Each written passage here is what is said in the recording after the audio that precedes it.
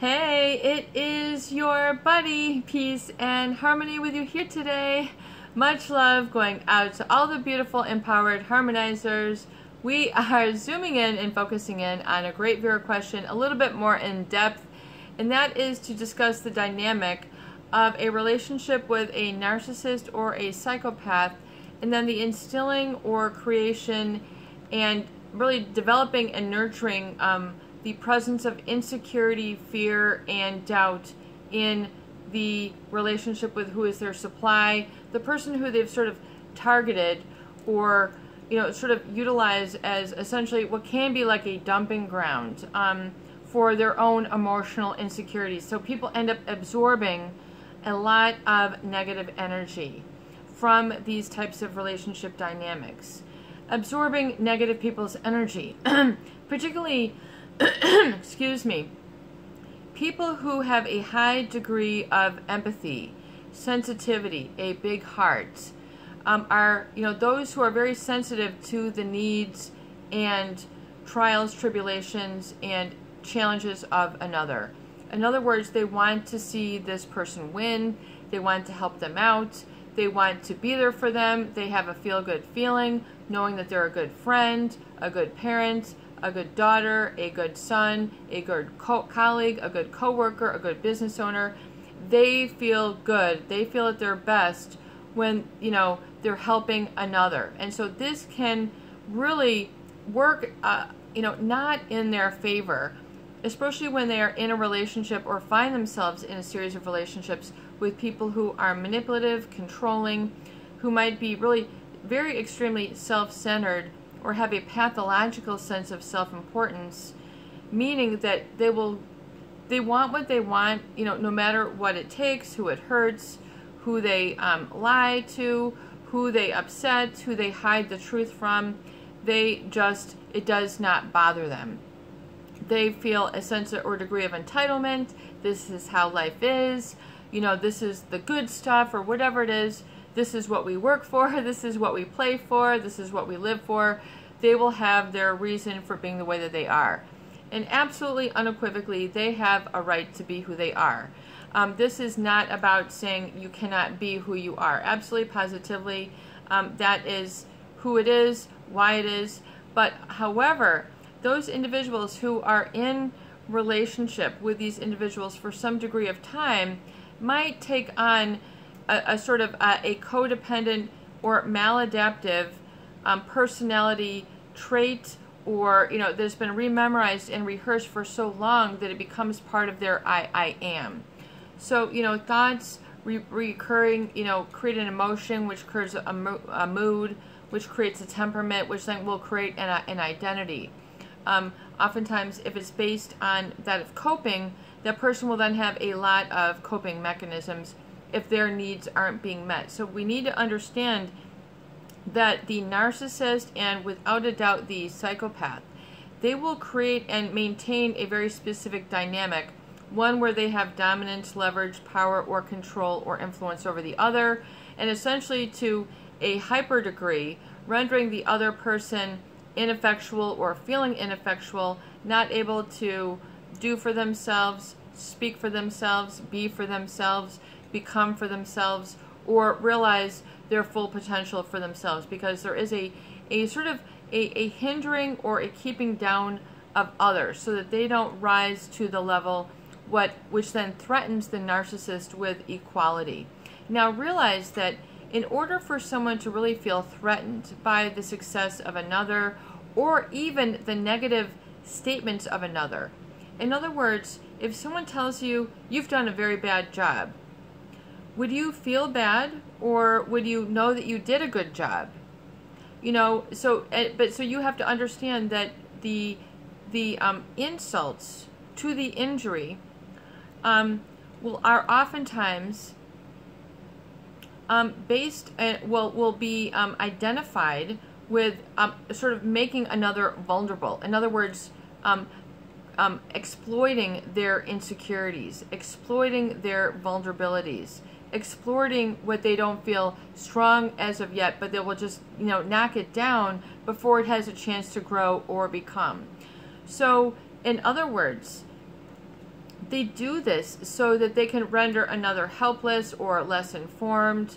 Um, and they are then threatened by their becoming equal because they personally, within themselves, have an insecurity with their own accomplishments, their own achievements. So then when they, if they see another succeed, uh, amen, you know, thank God that worked out. Or if, you, if there's this other person who is the target, then begins to rise up or do for themselves or attention, this is then interpreted as a threat. So normal growth and development and, you know, discussion or communication of feelings, opinions, desires, goals, ambition, if it's not in alignment or matching with the narcissist where they feel a sort of superior sense of their, their goals are more special, their uh, talents are more special, their, you know, their car is more special, their shoes are more special. I mean, everything is always going to be more than, you know. So that's what they're going for. That's their apparatus moderandi. That is what propels them. And so that and so it is. They have the right to be this way. And so it is. You know, and and, and so it's an allowing of, of them to be this way, but it does not mean that you have to take, you know, you don't have to be um, sort of, you know, the kick the dog syndrome. You don't have to be um, treated with false accusations. You don't have to have um, projection of the insecurity of the narcissist in your inner dwelling, in your center, which is usually why it gets off center because it, it hits in the gut and in the heart. So it's to remember that the, the center of you, your I am, is your heart. So it's to remember this that the heart is one of the first systems that is developed in the embryo. It, it feeds and provides nurturing, nur nourishment and you know to the rest of the developing organ system. So there, you know, but the heart is your center. Not a lot of people talk about that. Pay attention to it. Maybe you disagree. That that is completely fine. But your your heart, you know, is also then connected directly connected with your emotions. So your emotions will then be on an automatic pilot if they are rehearsed frequently enough. So you know, a few feelings repeated over a couple of days, you know, can become a mood. You know, a mood then, you know, maintained over a period of time can become a temperament. And a temperament, you know, continued over time can become an identity or a very strong personality trait. And and this also, you know, becomes a dynamic to understand with what, you know, the narcissist would consider their supply, um, the person who they are close to. They might have also, you know, second and third supply. But I think for a lot of our viewers here, they have, you know, definitely been in that position where they've made, been made um, to be, to feel um, bad about themselves. They have been made to feel ashamed. They have been made to feel inadequate. They have been made to feel stupid. They've been made to feel irrelevant. They've been made to feel that they're um, not important, not worth the time of day, not worth their salt, not worth, you know, the ground that they're standing on. I mean, they will make you feel as if, you know, you don't matter. That is the vibe that they put out. But to understand that the um, the individual who has a high degree of empathy and finding themselves in this dynamic will be more prone or more apt to take the false criticism, the shaming comments, um, the demeaning tone, the belittling at face value. So, in, in other words, identifying it with as a per permanent part of themselves, which couldn't be further from the, the, the, the, the truth. So then the, the problem with those individuals who find themselves um, inextricably tied, um, you know, either in a marriage, a family, a job, a community, um, a you know a, a, a fiance situation, a boyfriend, a girlfriend, a common law. You know the the problem is then that then it has been um, rememorized and rehearsed or accepted. You know, in other words, not fought up against. You know, by the individual that eventually it begins to accumulate and they begin to feel low, low self-esteem, feeling fearful, um, anxious all these are stemming oftentimes from that toxic shame that is then, you know, sort of imprinted or developed and nurtured and reinforced in the supply. Um, why would they do this? Because deep, you know, within them, they are hosting and harboring of this shame within themselves or this need within themselves. So, um, for them, rather than feeling safe with being equal, uh, feeling safe with the, the growth and development of others, rather than feeling safe with, you know, other people, maybe what they interpret as showing them up, doing better, um, excelling, you know, they are threatened because they want, they have an insatiable need to be that one, um, that that one who has the talent, the money, the looks, the car, the bank account, the shoes, um, the music, whatever it is, they are the, they feel that they are the penultimate with which really they compare everybody else against. So they sort of do this as a, you know, they use their um, entitlement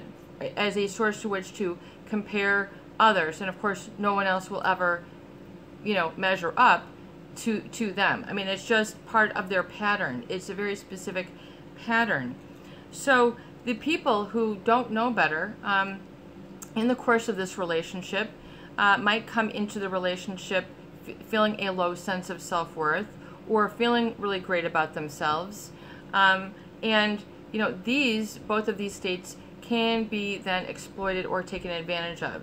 In other words, you know, the other individual whom they uh, basically indoctrinate or have their relationship with, that, you know, they want that person to do all the giving, you know, do all the giving, all the work, all the this, and they don't, you know, have to contribute. Um, you've got that imbalance. Um, and, and so it will create an imbalance, but otherwise to, to understand, I think is what I'm trying to explain, is that the insecurity then, the, are then interpreted by the individual as, well, you are right. You know, you are, because you're superior, because you're the authority, because you're the talent, because you've got the car, because you've got the shoes, because of whatever, whatever, you are right. That's the narcissistic sort of how they operate and how they um, create a, a dy dynamic, an unequal dynamic between those who they will, you know, have relationships with. They'll put down, you know, not talk to, um, give a snide look, um, snub you off. Um, you know, this is just um, a very common tactic, stonewalling, um, not, you know, not responding, um, the silent treatment.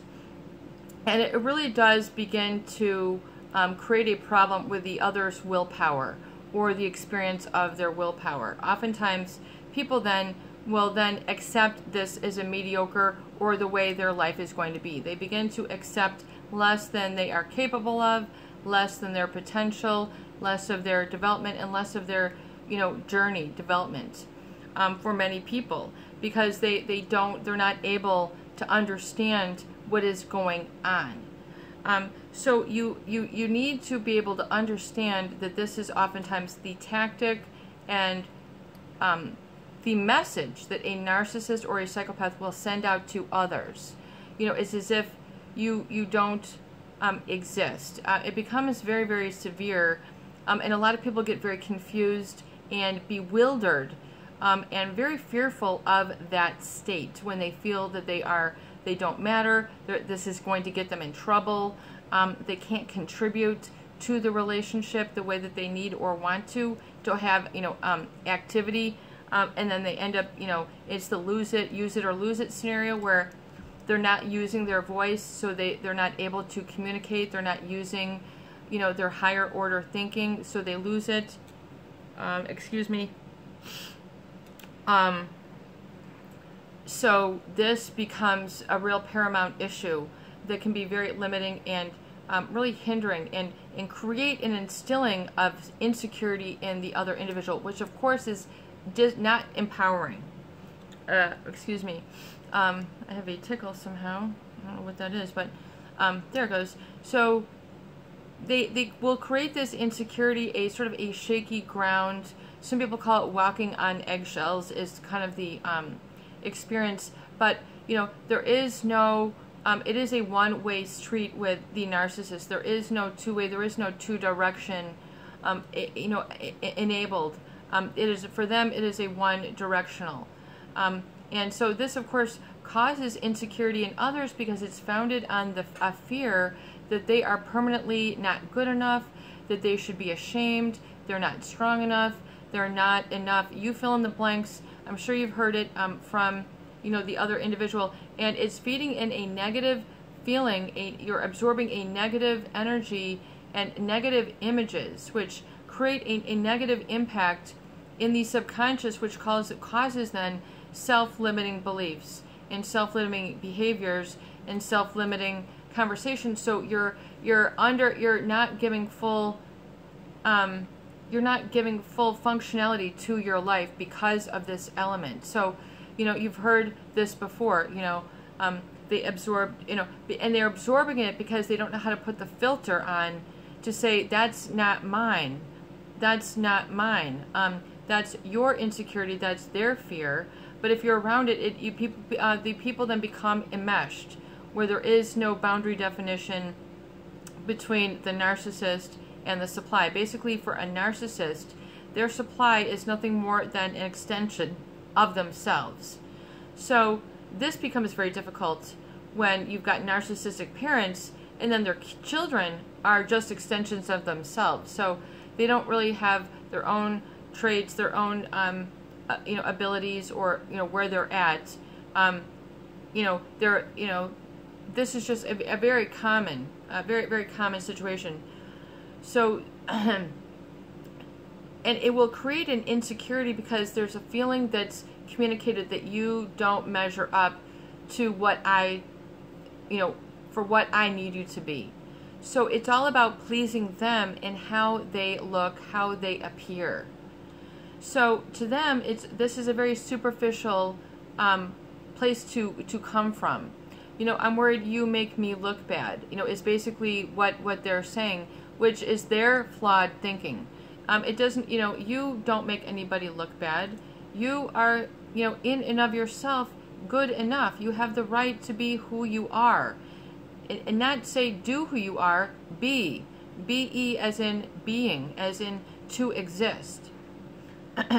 and so there should be no shame in that. But the problem is that the narcissist will indoctrinate shame into being who you are so oftentimes we don't see a lot of personality development in that individual because of this manipulation and the use of fear really um, and intimidation and creating and instilling a negative message which creates them which creates you know a a very inhibited mindset for that other individual which then of course they have to work to struggle and identify and become aware of so that's part of part of the piece of the puzzle. We'll pick up more on the next video. This is your buddy, Peace and Harmony with you here today, and I hope that these videos do help. Please share, please subscribe, and please donate for more great tools, videos, discussion, and support. Peace out, peace be with you, and have a wonderful day.